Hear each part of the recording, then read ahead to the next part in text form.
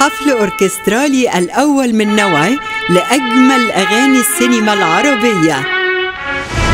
صوت السينما.